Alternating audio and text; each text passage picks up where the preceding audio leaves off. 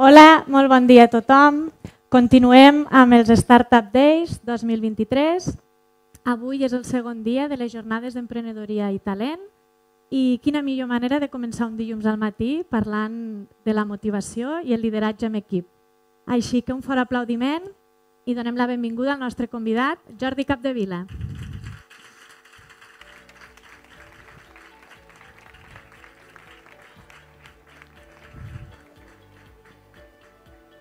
Hola Jordi, Hola, benvingut. Moltes Presento gràcies. el nostre alumnat. Molt bé, gràcies per acollir-me el dia d'avui. Eh, en Jordi, aquí on el veieu, és cap de màrqueting de l'empresa SITAC.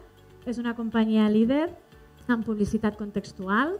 Entre els seus clients destaquen grans cases com Mitsubishi, Maserati, eh, Levis o Carolina Herrera, potser us sona alguna d'aquestes marques. A més a més, abans de tot això, eh, en Jordi va ser també cap de departament de màrqueting del Force Manager i va ser un dels fundadors de Mediabank, un marketplace de continguts audiovisuals professionals per a la venda i la distribució. Eh, està format a la Universitat Pompeu Fabra, va estar una temporada també estudiant als Estats Units, a la Universitat de Berkeley, i eh, va treballar també per l'empresa VoiceBox de San Francisco. Sí, ho he dit Correcte, bé? sí, M'he sí, deixat alguna fantàstic. cosa? Vols No. afegir alguna cosa? Farem un petit repàs, després us explico una mica la meva història. Vale, perfecte. Doncs una vegada feta ja la, la presentació, m'agradaria que ens expliquessis, Jordi, la frase que has triat. Eh, aquesta frase diu que l'èxit dels projectes és de tot l'equip. Per què has triat aquesta frase? Bàsicament per un tema d'empoderament de l'equip i de responsabilitat del líder. Quan, quan estàs gestionant un equip, ja sigui de, des de dues persones fins a 30 o 80, que no he tingut el privilegi de liderar equips tan grans, considero de que quan algo funciona algo bé, igual, que quan si ho podem relacionar amb el futbol, no? quan tot funciona eh, és l'èxit de tot l'equip. Quan algo falla és que el líder, en aquest cas segurament l'entrenador, ha pres certes decisions que són errònies. Llavors el sentit de responsabilitat del líder d'empoderar tot l'equip perquè tiri endavant i aconsegueixin els resultats esperats. Molt bé, la importància de motivar-los, Sí, sens sobretot. I després m'ha cridat molt l'atenció perquè ens has portat un objecte. Mhm. Eh, ens ha portat, el seu objecte imprescindible és el bloc de notes. Mhm. Llavors, mm, jo que ja començo a estar una mica a l'etapa vintage, i els que me coneixen ho saben molt bé, que on ha, per mi on hi ha un paper i un boli mm, ja no em fa falta res més, però m'ha sorprès que una persona com tu, dedicada al màrqueting i a la publicitat, el bloc de notes sigui el teu objecte imprescindible. Sí, al final crec que eh, agafar un bolígraf i escriure-ho, eh, la connexió que tens tu amb la idea o amb la nota és més profunda que teclejar-la. A mi, com a, personalment, tinc aquesta experiència. I la segona iteració d'aquesta idea és de que, sobretot quan estàs en reunions, sobretot si són presencials o inclús si són sobre una pantalla, prestar l'atenció que et deu la persona amb la que estàs interactuant, no? amb aquella relació, ja sigui presencial com en pantalla, és, és, és molt més franca si la pots tenir en directe, no? en cara a cara, i si no estàs entre pantalles fent d'altres coses, el millor és tenir un bloc de notes per poder apuntar i segur que amb una interacció personal no tens una pantalla que t'està privant al mig. No? És un Home, tema també de respecte. Li mostres a la l'altra persona que l'estàs escoltant. L'atenció, sí, sí. Molt bé, doncs ara que ja sabem d'on ve, ja el coneixem una miqueta millor, te deixo l'escenari tot teu, quan vulguis. Moltes gràcies.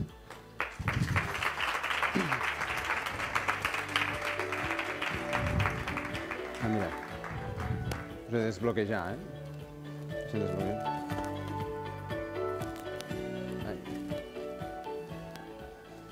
Doncs res, aquest és el meu perfil de LinkedIn eh, i és com la, la introducció, no? ja el que ens hem explicat molt bé de qui sóc i d'on vinc, però abans d'explicar-vos on he arribat, volia fer una mica d'èmfasis eh, d'on vinc, perquè els meus orígens són molt importants per mi i sóc d'un poble d'aquí al costat, que és Corbins, i segurament es pot relacionar amb molta gent que estigui dins de l'audiència, no?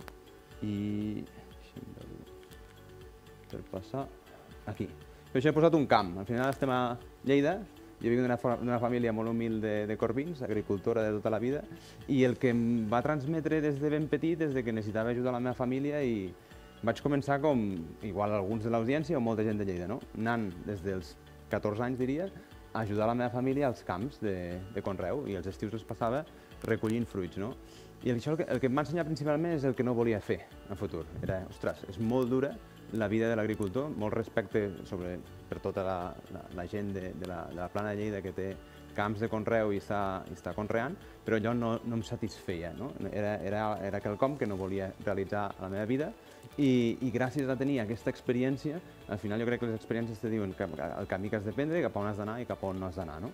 I gràcies a, a aquesta experiència vaig dir, ostres, la meva, la meva, la meva experiència ha d'anar amb un sentit de creixement i de creixement personal, professional i de superació personal i professional. Llavors, eh, explicam-vos una mica la meva història, eh, que després entrarem a dins de lo que són les entrevistes, i a mi m'agrada explicar perquè al final, quan estàs en una entrevista també de feina, el que has d'explicar és qui ets tu amb soft skills, no? de, de quines són les teves motivacions, cap a on vas, com has crescut, quines són les decisions que has pres al llarg de la teva vida que t'han portat al punt actual i això determinarà quina és la teva capacitat de decisió que et portarà al, al, al punt futur. No? I llavors, jo vaig tenir, quan vaig tenir 18 anys, eh, va ser un punt d'inflexió, estava a l'Institut Ronda, cursant batxillerat, eh, molt estudiós, vaig treure matrícula d'honor i vaig dir, ostres, he d'anar a Barcelona i no tenia els recursos per fer-ho.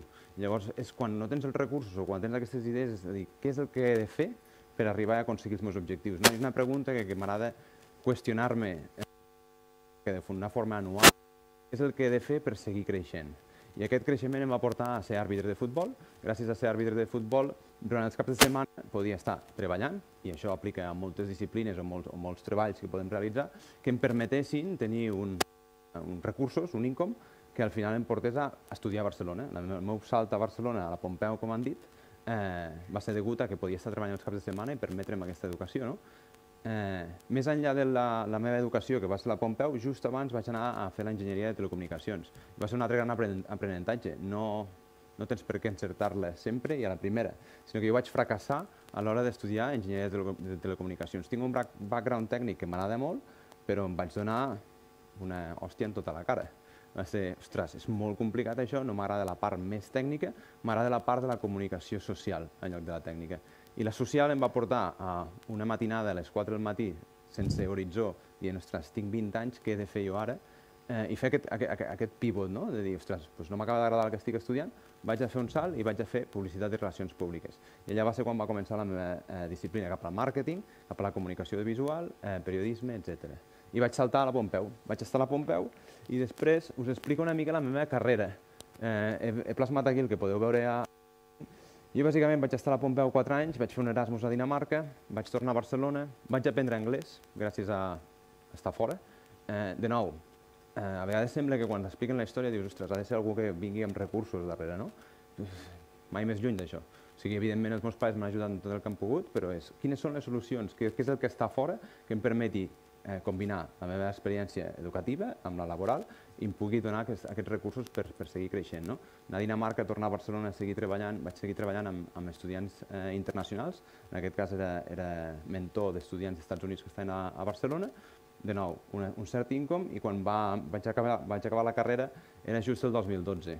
Molts de vosaltres igual no, no, no coneixereu el, el, el context que hi havia el 2011-2012.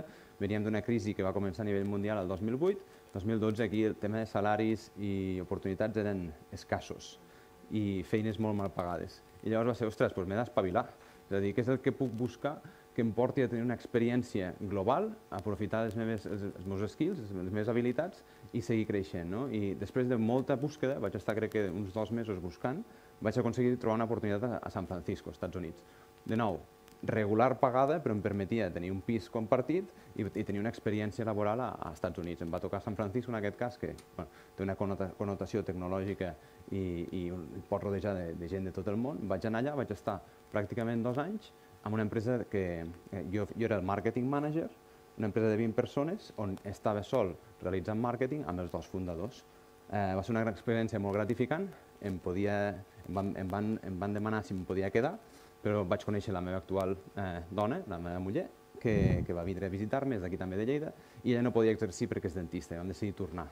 Però aquesta experiència que vam tenir als Estats Units va ser tornar al 2014 un ecosistema ja repuntant i diferent, però clar, quan ho presentes a, nivell de currículum, doncs és una, altra història la que estàs explicant, no? aquesta història de superació i de dir, ostres, doncs ja he portat màrqueting en una empresa, quin és el projecte més interessant amb el que em puc trobar aquí? i va ser una empresa de Terrassa, familiar, 60 persones, un equip de màrqueting de dues persones, on em vam confiar el lideratge d'aquest equip de màrqueting. Sempre realitzat, i ho parlarem just després, màrqueting entre empreses, no directament a consumidor. Si penseu en eh, empreses com pot ser un eh, Zara, van directament a consumidor. Jo sempre he estat en empreses que marketegen o fan publicitat a d'altres empreses. Era un projecte audiovisual, una empresa de 60 persones, liderant un equip de, de dos que va passar a ser quatre persones, amb oficines arreu del món i amb, amb exhibicions des de Las Vegas, Amsterdam, Hong Kong, Dubai, vaig estar viatjant molt quan, tenia, quan no tenia fills i era molt més fàcil fer tot això. I, i llavors, després d'estar en aquesta empresa, vaig estar eh, tres anys i mig en total, vam fundar Mediabank, que eh, era aquest, aquest hub de, de, de continguts audiovisuals on es podien intercanviar el que ara es coneix bueno, com pel·lícules, com el que hi ha a Netflix, doncs produccions audiovisuals professionals, que entre professionals es poguessin comprar i vendre aquests, aquests drets audiovisuals. No? I llavors em va, vaig rebre una trucada després d'aquesta experiència on crec que a nivell de motivació també. Eh, els professionals sempre, sempre dic el mateix, eh? tu pots créixer a una certa velocitat i l'empresa creix a una altra velocitat. És molt difícil que tant l'empresa com el professional creixin exactament a la mateixa velocitat. I què pot passar? Que l'empresa creixi d'una forma molt més ràpida que les teves habilitats personals i professionals i puguis entregar a l'empresa, llavors què passarà? Segurament passarà que et posin un cap a sobre més experiència que et pugui no, eh, liderar i, i, i fer-te créixer amb, amb aquest sentit de coaching o de mentoria. No? I pot passar justament al revés, de que l'empresa creixi amb una velocitat més lenta que el propi professional. Crec que és el que m'ha passat. Vaig tocar techo i vaig dir, ostres, ara estic fent més del mateix, tenia 26, 27, 28 anys, eh, vaig rebre una trucada i vaig dir, ostres, vaig explorar quines possibilitats hi ha fora. No?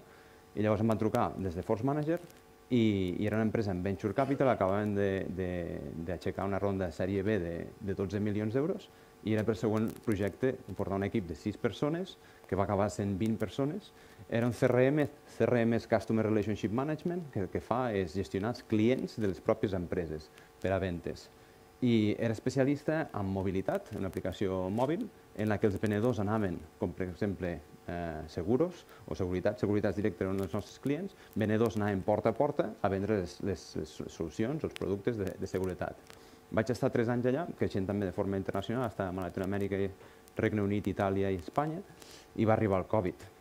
I clar, tots els venedors que anaven a porta freda a vendre doncs, van tenir que quedar a casa. I llavors va ser un gran repte, va ser una etapa ostres, molt challenging per tots, segurament els que estem a la sala, eh, tots vam viure, vam viure la nostra manera, però dins d'una empresa que es dedicava a gent que estava al carrer, ens vam tenir que reposicionar, reconfigurar la nostra solució per, per un món híbrid, no? que era el que venia. Eh, va ser bonic, vam estar vuit mesos, vam crear la conferència en ventes internacional amb espanyol més gran del món, vam tenir 10.000 persones ficades en, un, en, un, en una plataforma que vam crear per, per aquesta conferència virtual, i al cap de, estàvem al setembre, crec que era octubre de Covid, va començar al març, 6-7 mesos, em van trucar de SITAC. SITAC és una empresa eh, cofundada per dos ex-googlers, que estaven a Google, van veure l'oportunitat de capitalitzar amb les imatges editorials, és a dir, si penseu, per exemple, el Segre és un dels nostres eh, partners, en els seus articles hi ha una imatge visual, que és la més prominent, i com podem imprimir publicitat a sobre d'aquestes imatges i com contextualitzar-la. I això és el que feien. Equip de màrqueting, de nou, de 5-6 persones, que havia fet abans, per poder-lo escalar. No? Eh, jo sempre els dic, era un diamant en bruto. I aquest diamant en bruto, dic, ostres, em van dir, per què et vas canviar amb una posició sòlida, liderant 20 persones, era el repte, no? el seguir creixent, aquesta motivació de dir, ostres, nous reptes, pensar fora de la caixa, tinc l'energia encara i la vitalitat per poder-ho fer, som-hi. I aquest diamant en bruto s'ha convertit en una empresa que vam aixecar una ronda de 250 milions, està eh, valorada amb, inversions de, inversors de, dels Estats Units, estem a més de 15 països actualment i som 550 persones, jo vaig ser l'empleat 150. O sigui, en els últims 3 anys, porto, vaig complir de fet 3 anys fa dues setmanes, a Cita hem passat l'equip de, de 5 persones a 30 eh, a màrqueting i en total doncs, són les 550 persones que us he comentat amb una gran expansió. Sobretot ara estem enfocats més a, a Estats Units. No? I de nou, torno al background de, des d'on de, de, de, venia aquesta història en la presa de decisions, en el repensar on vull anar, quina és l'energia que tinc i què és el que puc fer per aconseguir els objectius tant personals com professionals i acompanyar les empreses en les que, en les que pots estar contribuint. No? I aquí Eh, de nou, us, us, us he posat una slide per, per, per dir-vos la diferència una mica, no? perquè crec que hi ha estudiants de tot, de tot tipus aquí, també en publicitat. Hi ha dos tipus de màrqueting, a vegades eh, no estan tan diferenciats, eh? però jo sóc especialista en la part B2B, no la part B2C. Sempre empreses fent màrqueting i publicitat per d'altres empreses. Què és el que faig a Cita? Busco les empreses, com abans comentava, no? des d'un Mitsubishi, un Chanel, crec que has comentat, o... o sigui, estem treballant amb les Fortune 500, que són des d'un Danone, des de eh, Louis Vuitton, o sigui, totes les grans empreses que podeu pensar, que fan publicitat tant a televisió com a canals digitals. Nosaltres som l'opció de canal digital en la que fas publicitat als propis articles. no pensem ni en Instagram, ni en Facebook, ni en Google, és part del màrqueting mix que tu pots fer amb publicitat digital i online. Hi ha una part que CITA, que és l'open web, que són continguts eh, oberts en què nosaltres eh, servim publicitat pels nostres clients amb partners com pot ser el Segre, Marca, CB News, Sky News, etc etc. La part B2C, de nou, és molt atractiva, no sóc un gran especialista, al final sí que el que fem és marketejar a persones. És a dir, jo crec que la complexitat del B2B és una mica més gran perquè al final el B2C el que estàs fent és a consumidors únics. És a dir, una persona que, que et comprarà un bolso, unes sabates, una roba, una rentadora, una televisió. En B2B el que tens normalment és un comitè de gent que està comprant solucions i estàs amb un comitè de direcció o de decisió que diuen però apostarem per aquesta plataforma que són 10.000 euros mensuals o 1.000 eh, i has de marquetejar tot aquest buying committee i quines són els rols i les persones que ens trobarem allà, com els hi podem presentar continguts i educació envers a la, a la solució que li aportarem per superar els seus reptes i aconseguir els seus objectius. I tinc un mini vídeo del que fem. No sé si hi ha volum.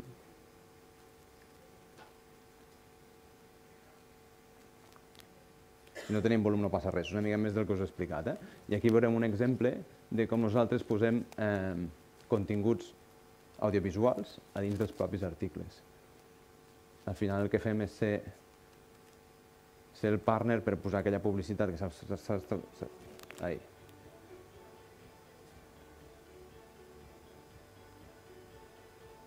I ara veurem.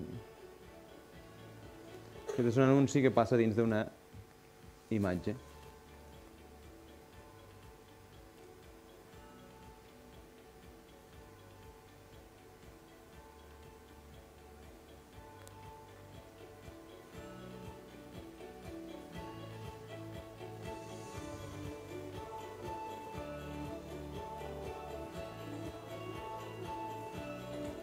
Com hem vist, hi havia, hi havia un anunci superposat dins de la imatge. No? Ara mateix els placements, és a dir, els llocs on nosaltres podem imprimir els, els anuncis, és a dins de la imatge, dins del contingut, al footer o inclús al voltant de, del propi article o en el, en el lloc de la lectura. Eh, nosaltres, la nostra proposta de valor és trobar les, les, les, les audiències de les marques a on estan més interessades. Sovint quan penso en, el, en internet, el que es pot fer dins d'internet, eh, ho, ho incloc amb quatre buckets, no? amb quatre, amb quatre cai, calaixos, per així dir-ho. Eh, un es pots estar buscant informació, i això seria Google, del 80% de, de mercat. Pots comprar roba, que seria un Amazon, per exemple, que té aproximadament el 40-50% de mercat. Pots socialitzar, que aquí Meta, amb Facebook, Instagram, WhatsApp, té aproximadament un 30-40% també de mercat. O pots tu llegir informació, això és el que nosaltres anomenem Open Web. No? Pots anar al Segre, al Marca, etc. i allà hi ha molts players, un dels quals és CITAC, que a nivell de quota de mercat no hi ha cap que sigui el gran líder d'aquest ecosistema, és on busques informació, i nosaltres el que fem és llegir amb intel·ligència artificial el context d'aquelles pàgines, és a dir, que hi ha el headline, que hi ha dins dels textos, que hi ha dins de la imatge amb computer vision, i contextualitzem aquella, aquella pàgina i l'enllacem a dins d'un, bueno, és el que diem, el, el gràfic contextual, per veure quina és la diferència de distància que hi ha entre un briefing de client, és a dir, volem fer una publicitat, Louis Vuitton volen anar a nivell de sostenibilitat amb materials sostenibles i en quins articles és més rellevant que aquella, aquell anunci estigui emplaçat de tal manera que quan l'usuari estigui veient l'article tingui una certa relació l'anunci amb el que s'està informant. D'aquesta manera és no intrusiva, és, priva, és privacy first, és, és respectuosa a nivell d'usuari perquè no fem servir cookies, només fem servir l'interès del propi article amb la pròpia publicitat i l'engagement, és a dir, la resposta activa del, de l'usuari és superior en que si et pots trobar, per exemple, vaig a posar el cas extrem, no? Twitter eh, ara mateix es diu X, on tu tens eh, un feed de, de, de continguts millors o pitjors, en els que tu poses el teu anunci, pot, pot ser que el context, el, el surrounding, el voltant, t'estigui influint de forma negativa la percepció de la teva pròpia marca. I aquesta és la, nostra proposta de valor. Sense fer servir cookies, no ens interessa el que hagi fet en el passat l'usuari, sinó ara mateix està interessat en alguna concret, nosaltres agafem i li posem la publicitat relevant en aquell moment. I llavors, eh, a nivell de motivació, a nivell de, lideratge, de lideratge d'equip, jo sempre utilitzo aquest framework, que és ser molt clar i contundent a l'hora de què és el que persegueix el departament o l'àrea a nivell de missió i de visió. Nosaltres, com a departament de màrqueting, la nostra missió és encantar als nostres eh, pròspects, que són desconeguts, o als nostres clients, és a dir, encantar-los perquè tornin a comprar-nos a nosaltres. I en, en segon statement és tota aquella, aquella gent que no ens coneix, que d'alguna forma s'enteri de qui som i vingui a nosaltres. Això és el que fem a dia de màrqueting en el dia a dia. I a nivell de visió, com us comentava, eh, a nivell de, de, de màrqueting digital, estan, hi ha players molt grans en segons quins calaixos que us explicava. Nosaltres volem ser un d'aquests, volem educar i nutrir a qualsevol persona que treballi en publicitat, en què nosaltres som una opció més dintre del mix i que aportem eh, més valor que, que certes solucions que s'estan fent servir actualment. I llavors, com, com, com, com, què és el que fem no? a dins de màrqueting? Perquè tot això queda com molt... Ostres, i això com s'aterra en el dia a dia. No? Tenim, eh, puc dividir el departament d'una forma més simplificada a nivell de comunicacions i a nivell de field marketing o gent que està en camp fent accions de màrqueting. A nivell de comunicacions tenim aquí uns pilars del que fem. Nosaltres eh, treballem activament les nostres xarxes socials. La més prominent per B2B seria LinkedIn i a nivell de comunicació eh, de notes de premsa, en diem PR. No? És a dir, les, les comunicacions corporatives les llancem al mercat via social i via comunicacions PR. També tenim una estratègia de mailing, de, tenim crec que són més de 40.000 40 subscriptors actualment, en els que els llancem comunicacions de forma proactiva perquè estiguin al dia de les novetats tant d'empresa com de sector. És a dir, no només comunicant el que nosaltres fem, sinó a nivell d'indústria has de saber això, això i això.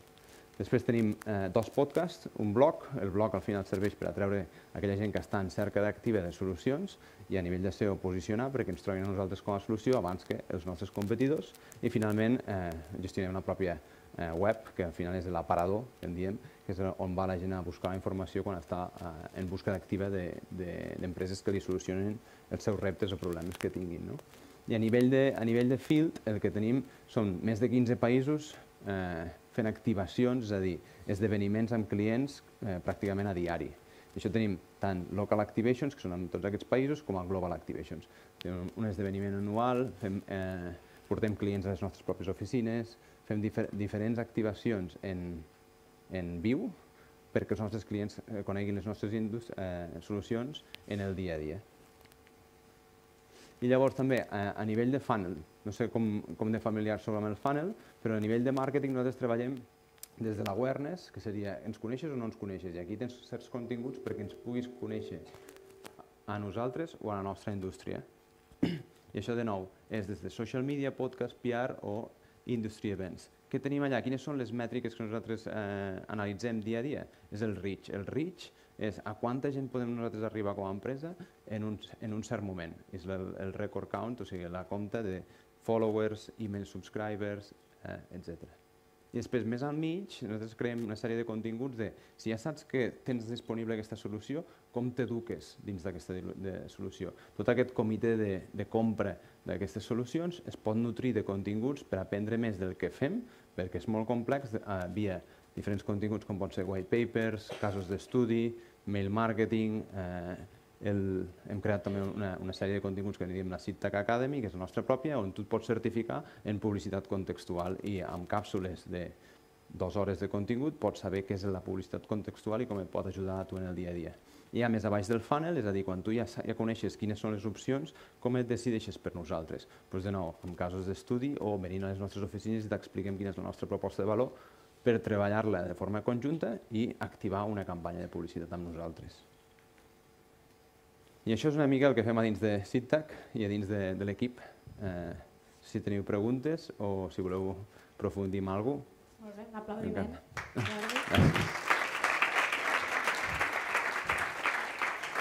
Teniu alguna pregunta? Aprofiteu que el teniu aquí, sobretot màrqueting i publicitat. No? Bueno, a mi m'agradaria, gràcies per compartir la teva experiència.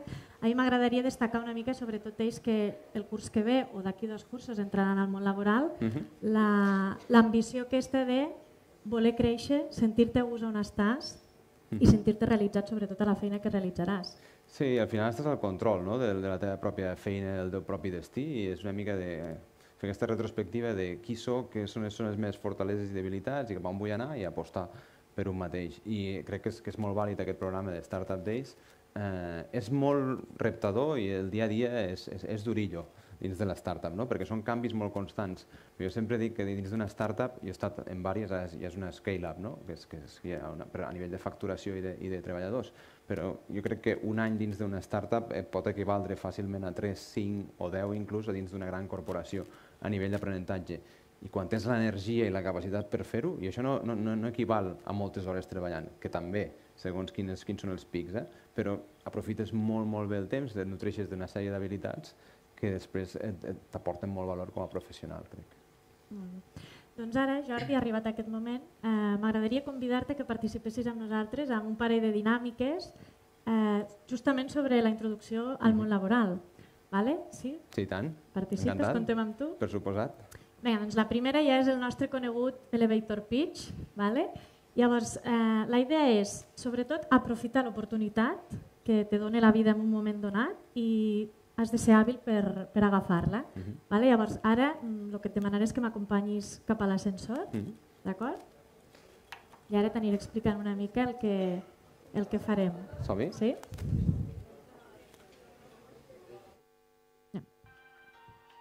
Creus que la teva idea de negoci val la pena? Necessites vendre aquesta idea, però no saps si la CAP et pot dedicar el temps suficient.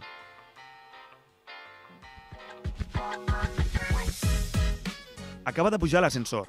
Entra, respira i que les teves idees no siguin com fulles al vent.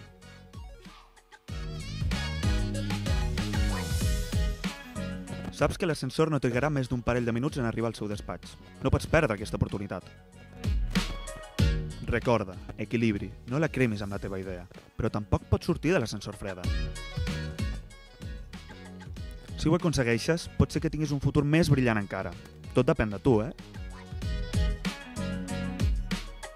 Vale, Jordi, com bé t'he explicat, anem cap a l'ascensor. Vale? I aquí tenim, te presento, vas, trec endavant, Hola. te presento a la nostra alumna, la Juana, que és una alumna de màrqueting i publicitat, uh -huh. i justament el que vol fer és aprofitar uh, aquesta oportunitat que té, que té un minut 20 segons per presentar-te la seva idea, a veure si te sembla bé, l'agafaries o no. Molt bé. 3, 2, 1, quan vulguis, Juana. Vale, Jordi, ¿te ha pasado alguna vez que estás en una reunión con clientes y lleven horas discutiendo sobre una nueva estrategia para generar una campaña de marketing exitosa, pero hay tantos datos acumulados, incluso las empresas muchas veces no saben que esos datos existen, los tienen desorganizados y la, básicamente no es clara la respuesta que quieres darles, no es claro lo que tú quieres hacer para ayudarles. Bueno, pues en este aspecto, para eso se creó la agencia de marketing Güera. Güera es una agencia que básicamente repara en la raíz de los negocios rentables en la actualidad en el marketing digital, que son los datos. Entonces, básicamente lo que hacemos es transformar la información, transformar los datos, ver la voz del cliente y convertirlo en insights y en decisiones que pueden tomar las empresas para mejorar su impacto en el, en el mundo en general. Pero aquí es donde viene lo interesante que solamente el 15% de las, de las empresas actualmente en Cataluña están aprovechando esta ventaja digital, solamente el 15%. Entonces, no sé a ti qué te parece, si es, una, es un buen momento para empezar a crear ese impacto y para que te apuntes con nosotros también en, en este reto de moverlos a ellos. Entonces, si quieres me puedes dar tu tarjeta y así mañana te puedo dar más detalles sobre cómo, cómo vale la, la empresa de Güera, cómo transformamos vale, la información. Fins aquí. eh, ¿Qué tal, Juana? ¿Cómo te has sentido? Eh, bien. Has pogut, has pogut, dir tot paraules. El, has pogut dir tot el que volies dir? Eh, Estava preparada. Bueno, sí. faltaron un par de detalles. Bueno, creus, Jordi, que t'ha aconseguit convèncer? T'agrada la seva idea? Crec que ha sigut un molt bon elevator pitch, o sigui, enhorabona, primer de tot. crec que l'únic que diria que és que igual ha faltat és realment quin és el, és el que necessites, és a dir, més enllà, segur faràs, faràs el follow-up a nivell de targeta, no? Però el que necessitem de tu és X, Y, Z, no? Per la concreció aquesta de l'elevator pitch és tu vols sortir d'aquí amb alguna concret i tangible, no, no he notat què era aquest que, que és el que estava identificant. El que sí que ha fet molt bé ha sigut el framing de, de quina és l'oportunitat de mercat, no? que només el 15% de les empreses, això vol dir que la, la proposta està validada perquè hi ha empreses que ja ho estan fent servir, però hi ha un pool d'empreses del 85% que no, no? i allà teniu el, el vostre mercat en el que voleu, voleu capitalitzar. Molt bé, doncs moltes gràcies. Un fort aplaudiment a la Juana, que ho ha fet superbé. Gràcies i Jordi, acompanya'm. Bueno, justament, justament amb aquest elevator pitch hem vist la, la importància d'aprofitar l'oportunitat Mhm. i de saber vendre el, la teva idea i el que realment vols transmetre. Llavors, ara eh, et proposo la segona dinàmica. Vale? Com, com bé he dit abans, eh, molts d'ells el curs que ve ja se n'aniran al món laboral i si no al següent. Llavors, l'esglaó principal per entrar al món laboral és l'entrevista. Sí? Llavors nosaltres, buscant, buscant, buscant, casualment, hem trobat una oferta de treball de l'empresa Citac. Sí. Vale? I entre els munts de currículums que ens han arribat, perquè n'han arribat molts, vale. Dir, han fet la feina de seleccionar el, el candidat que creiem que més eh, s'adaptarà a aquesta oferta de treball. Llavors, eh, Ramon, estàs per aquí. Si vols pujar amb nosaltres, Si arriba tard el Ramon, malament. Eh? Fancy todo, chaval. Vinga, bon dia, Ramon. Hola, què tal? Encantat. Jordi, Ramon, fica't, fica't aquí al mig. Em fico ella? Sí, aquí al Vale. mig. Què tal, com estàs? Bé, tranquil. Preparat, tranquil? Molt bé, així m'agrada. Llavors, ara del que es tracta és que li facis una entrevista de, de treball al Ramon, vale? amb aquelles preguntes que consideres més importants per entrar Vale. a treballar al teu equip. Sí? Fantàstic. Aquí tenim preparat un Ens despatx, sí? Sí? Ah, mira, Tu, fantàstic. Jordi, cap allà, Ramon Molt bé. aquí, i quan vulgueu, tot vostre. Benvingut, Ramon. Què tal? Com estàs? Bé. Molt bé. Jo sempre m'agrada començar amb la mateixa pregunta, i és una mica en relació al que us comentava abans, no? Eh, quina és la teva, la teva història, Ramon? Qui és el Ramon? Pues jo vaig començar... Gràcies. Jo vaig començar... Esto. Jo vaig començar estudiant al claver quan, eh, quan tenia 5 anys, va, cap als, i vaig, vaig estar allà fins als 14 o 15, després vaig, els meus pares se van separar, vaig començar a estudiar al FEDAC, les Dominiques, hasta quart de l'ESO, i després vaig començar a estudiar aquí a l'Ilerne, eh, un cicle mitjà de, d'AD, d'Administració i Gestió d'Empreses. Em va agradar molt, però era un pas que tenia que fer per fer el que jo volia, que era màrqueting i publicitat. Llavors vaig tindre l'oportunitat de fer màrqueting i publicitat al cicle superior i me vaig apuntar. Jo vaig començar treballant des dels 14 a l'empresa familiar, Mhm. eh, bueno, que mon pare té diverses cafeteries, vaig començar ahí treballant, Molt bé. una mica explotació, i... Estem, estem a la mateixa pàgina, no et Sí, preocupis. sí, sí. Això abans ho has dit i he pensat el mateix. Sí, sí, està molt bé. perquè bueno, tinc dos germans, un gran i un petit. El gran sí que sempre ha ajudat a l'empresa. Mhm. Ara ja té 35 anys i està, bueno, juntament amb mon pare és el que mane, Mhm. després estic jo. I ma germà petit que, bueno, que no fa... I Ramon, No a, ni, a nivell de a, a les cafeteries, què és el que destacaries que has après més de- d'aquesta El tracte amb, etapa? amb el públic i amb la gent. I Vull com, dir, com ho relaciones això amb el màrqueting? pues que al final el màrqueting és saber vendre un producte i jo allí estic al públic Mhm. eh, he de saber vendre el meu producte i saber com enganxar la gent per, no perquè compri sinó perquè després torni. Molt bé. I eh, dins de la formació professional que estàs cursant dins de el màrqueting, ostres, és, mo, és, és, és, molt, és molt broad, és molt, és molt ampli, no? Eh, què és el que més t'agrada del màrqueting, si haguessis de destacar una, dues, tres coses? pues, no sé, potser la part, la part digital de, bueno, de crear les pàgines web, per exemple. M'agrada, no se me dona gaire bé, però crec que és un aspecte molt important i que al final és el futur. Mhm. I crec que si ho puc aprendre ara i, i dinamitzar ara, eh, per què no fer-ho? Mhm. I de les xarxes socials o com connectes l'estratègia web amb d'altres canals? Bueno, encara no ho hem estudiat gaire, però eh, de moment estem aprenent a fer pàgines web eh, i utilitzar eh, tots els recursos que puguem. Bueno, normalment utilitzem eh, pàgines web, eh, canal de YouTube, Instagram, TikTok, i intentar captar l'atenció del públic així. Però encara ens queda bastant per aprendre. Molt bé. I què és el que buscaries en la teva primera feina? Bueno, jo n'he tingut gaires. Bueno, en la primera feina de, relacionada amb publicitat, és a dir, és, què és Bueno, que... jo ara estic fent pràctiques, per exemple, al, a l'Audi, a Garatges del Mau, i ara m'han oferit ser venedor de Volkswagen, Mhm. de vehicles nous. I aquí lo que, si l'acabo acceptant, eh, esperaria eh, que el meu lloc fossi algo dirigit a, a això, a digital. Estàs fent una entrevista de feina, ja tens una feina sobre la taula. És a dir, ara Sí. de convèncer jo perquè vinguis a treballar per mi, no? Bueno. Per no escapar-te. Eh, ne tinc un par. Està molt bé. Molt bé, doncs, si us sembla, ho deixem aquí. Mhm. Veniu, m'acompanyeu. Sí, molt bé. Posicionat. Estàs davant d'una feina de treball. Mm, Molt bé. Posicionament corporal. Què tal? Com t'has sentit? Bé, tranquil. Mm. Sí? Creus que... fet unes quantes entrevistes. Sí, però davant de tanta gent? No, però bueno. Bé, molt bé, millor. Què tal, Jordi? Què t'ha semblat? Molt bé, o sigui, jo crec que el valor de, de, de aquí el Ramon està molt natural i tranquil, no? I crec que o sigui, es nota molt la diferència de si algú està tranquil dins d'una entrevista o està preparat o preparada, no? Aquí la personalitat de cadascú, jo sempre dic, es nota que n'has fet d'altres. I les, les entrevistes, o sigui, us diran que no moltes vegades. No us podeu ni arribar a imaginar el nombre d'entrevistes que jo he fet en la meva història. O sigui, i, en molt, i la majoria m'han dit que no. I llavors, jo invitar-vos a dir, ostres, el primer, no sé, el primer segur que va malament. Anem a, anem a provar, anem a fer pràctica i llavors també practiques el art de poder fer entrevistes, de sentir-te més natural, d'explicar qui ets, què vas a fer i al final pues, trobaràs el fit que et diguin, pues, pues, sí, pues ara sí, anem a provar-ho. Molt bé, doncs Ramon, moltes gràcies. Moltes gràcies, Ramon. Encantat. I ara, si teniu opció de fer alguna pregunta, no tingueu vergonya, aprofitem que està aquí. No voleu preguntar res ningú?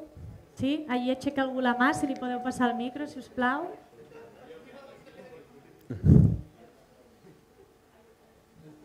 Eh, bones, Jordi. Tu penses que el Jordi de 20 anys, quan vas decidir fer el canvi, estaria orgullós o estaria a la posició que tu, que tu estàs d'ara mateix? Ah, jo crec que sí, sí, al final, i, i per això ho, ho explico, no? perquè crec que hi ha molta gent que es pot relacionar amb aquesta experiència, de dir, hòstia, estàs a, en un moment vital de la teva vida, és molt difícil quan tens 14, 15, 16, 18 anys triar el camí que acabaràs tenint, no?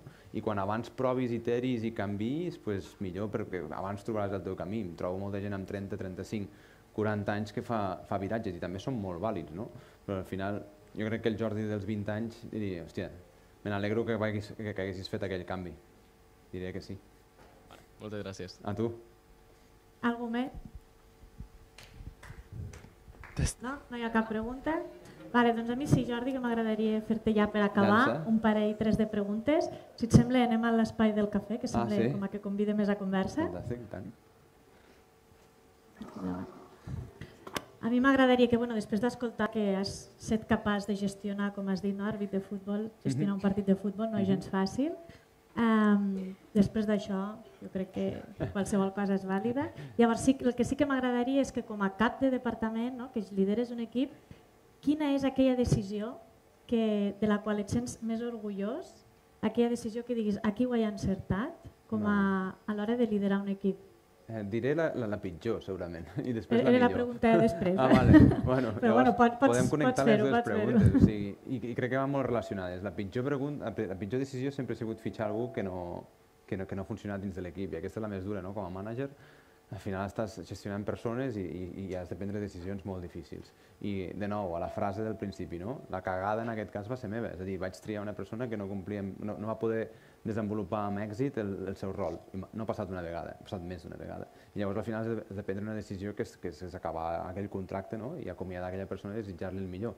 I aquesta és la, aquesta és la més difícil. I lligada amb la, amb la, amb la més la, més, la, la, la millor de les decisions, jo crec que ha sigut co contractar la gent correcta perquè t'acompanyin l'equip. I aquestes contractacions, normalment, des d'un de, des punt de vista de lideratge, jo crec que has de, has de tornar a, a, a, saber les teves debilitats i fortaleses per veure com ho complementes, no? perquè és molt fàcil eh, treballar amb gent que et portis superbé i que tinguin els mateixos gustos, però és que és just el contrari, perquè per, per complementar realment bé l'equip has de triar aquelles persones que surten fora de, de, de la teva quotidianitat, que et poden fer el- els reptes, que et poden qüestionar coses com a líder i treballar de forma conjunta per tenir èxit com a, com a treballadors. O inclús triar gent que tingui més experiència que tu, perquè al final quan tens 25-26 anys, si et posen la tasca de liderar un equip, segurament has d'anar no a gent que tingui menys experiència, sinó més experiència, com es lidera, no? Des d'un plano eh, humil, transversal, de dir, ostres, estem aquí amb aquesta tasca. Tu ets molt bona en, a la pregunta del Ramon, no? de, en web, tinc ni idea, no? com fem el SEO, com fem l'estratègia de continguts, com fem la part tècnica, eh, i vine, explica-m'ho, cobraràs més o menys que, que, que el que igual hi havia dins del pressupost o inclús que jo, però anem de forma conjunta a portar valor a dins de la- de l'empresa. I aquestes decisions són les que jo crec que tant de forma bona com dolenta han sigut l'èxit i, i alguns fracassos. Sobretot la part aquesta d'humilitat, Sí. no? De, de no creure ni per sobre Sí. ni, ni per sota de ningú, sinó tots som un equip, aportem les nostres habilitats Mm. i entre tots ho tirem endavant. És, co- costa de gestionar, eh, segons quins perfils, però crec que és, que és, que és molt important, sobretot en l'apartat del lideratge, eh, de, de ser una persona humil dins de l'equip, compartir de forma freqüent quines són les teves, i més en, les noves generacions, eh, com la que tenim aquí, que crec que és molt valorat. A dir, aquestes són les meves debilitats, com de tots, eh, de forma conjunta podem compensar les meves de, debilitats i les fortaleses dels altres i tenir converses obertes i planes per, per aportar valor. Molt bé. I ara ja l'última pregunta per acabar. Ells estan a la franja d'edat dels 18, 19, 20, algú més per sobre, Mhm. però tu ara amb l'experiència que tens, els aprenentatges que tens, la vida i la manera com t'has tingut que guanyar els recursos per arribar on estàs, Mhm. què li diries a aquell Jordi dels 18, 19, 20 anys eh, per tal de mm, aconseguir arribar on estàs? Jo, jo li diria, eh, pren riscos, perquè és el moment de fer-ho. Després ja t'arribaran complicacions a la vida, com poden ser família, fills, etc. que ja, ja, ja co- la, la vida es complica sola, però quan abans te la compliquis, doncs quasi millor, perquè més aprendràs de, de totes aquestes complicacions. I per fer-ho més tangible, jo si tornés a la, a la meva carrera professional, com ha fet el company abans la pregunta, no? eh, segurament començaria iniciatives, side projects, no? com projectes al costat, quan abans millor. És a dir, n'he començat varis, eh? però segurament els he començat eh, massa tard, no? per, per, per diferents raons. No? Però ja si tu tens una feina 40 hores setmanals, 8 hores, que pots fer més o menys, si, si aprofita hores extra que tu puguis dedicar a educar-te tu mateix o a provar iniciatives. Canal de YouTube, per exemple, o el que sigui, no?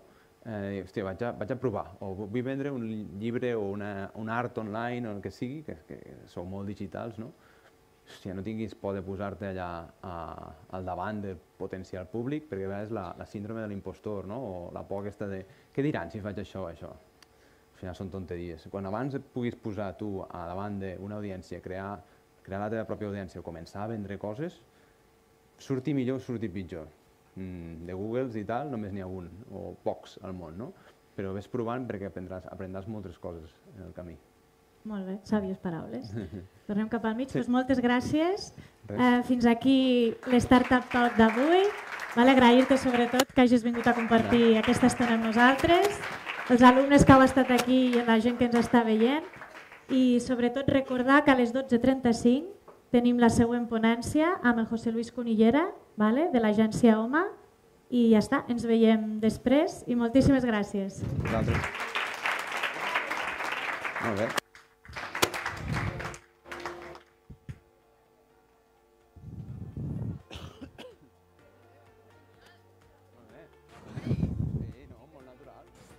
Natural. Uh!